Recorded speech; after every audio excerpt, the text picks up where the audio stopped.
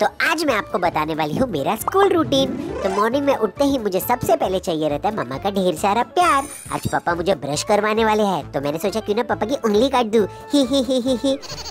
मुझे नाना बहुत अच्छा लगता है बट ये पानी हमेशा ऊपर से नीचे क्यों गिरता है? नीचे से ऊपर क्यों नहीं जाता? है छोड़ो, इसमें से थोड़ा पी लेती हूँ।